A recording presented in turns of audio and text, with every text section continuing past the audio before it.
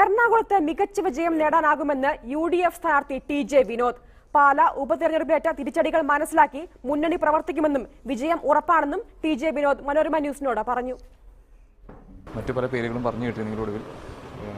താങ്കൾ തന്നെ ഇപ്പോൾ എറണാകുളത്തെ യു ഡി എഫിന്റെ സ്ഥാനാർത്ഥിയായി. ഞാൻ ആദ്യമായി പ്രതികരിച്ചു തീർച്ചയായും എറണാകുളം അസംബ്ലി നിയോജക മണ്ഡലം യു ഡി എഫിന്റെ ഏറ്റവും ശക്തമായ ഒരു പൊന്നാപുരം കോട്ടയാണ്. ഈ നിയോജക മണ്ഡലത്തിൽ മത്സരിക്കാൻ കോൺഗ്രസ് പാർട്ടി എന്നെ തെരഞ്ഞെടുത്തതിൽ കേരളത്തിലെ കോൺഗ്രസ് നേതൃത്വത്തോടും ഓൾ ഇന്ത്യ കോൺഗ്രസ് കമ്മിറ്റിയോടുമുള്ള എനിക്കുള്ള നന്ദി ഞാൻ ആദ്യമായി രേഖപ്പെടുത്തുകയാണ്. ഇപ്പോൾ പാല ഉപതെരഞ്ഞെടുപ്പ് കഴിഞ്ഞിട്ടുള്ള യു ഡി എഫ് ആദ്യം നേരിടാൻ പോകുന്ന ഒരു ഇലക്ഷനാണ്.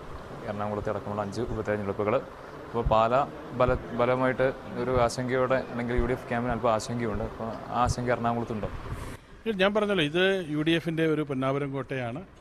പാലാ ഉപതെരഞ്ഞെടുപ്പിൽ പറ്റിയ വീഴ്ചകൾ ഒരു കാരണവശാലും ആവർത്തിക്കാതിരിക്കാൻ ഒരു മുൻകരുതൽ എന്നുള്ള നിലയിലുള്ള എല്ലാ നടപടികളും സ്വീകരിച്ച് തന്നെ ഈ തെരഞ്ഞെടുപ്പിൽ ഞങ്ങൾ അഭിമുഖീകരിക്കും എപ്പോഴാണ് പ്രചാരണ പ്രചാരണ പ്രവർത്തനങ്ങളൊക്കെ ആരംഭിക്കുന്നത്? ഞങ്ങൾ എന്റെ സ്ഥാനാർത്ഥിത്വം ഇപ്പോൾ പ്രഖ്യാപിച്ചിട്ടേ ഉള്ളൂ ഇപ്പം മുതൽ ഞങ്ങളുടെ പ്രവർത്തനം ആരംഭിക്കുകയാണ്. നാളെ ഞങ്ങളുടെ എറണാകുളം അസംബ്ലി നിയോജകമണ്ഡലത്തിന്റെ കൺവെൻഷനാണ് മറ്റന്നാളാണ് നോമിനേഷൻ കൊടുക്കുന്നത്.